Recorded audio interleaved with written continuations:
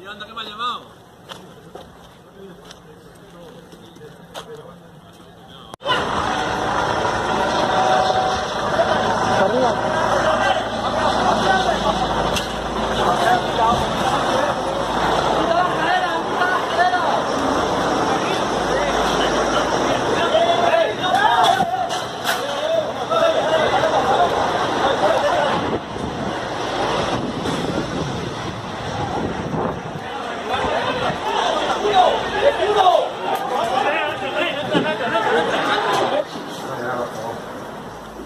Me ha buscado por